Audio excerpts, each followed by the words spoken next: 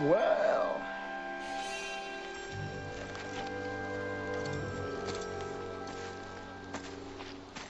I didn't think you had it in you. I'm your huckleberry. Why, Johnny Ringo.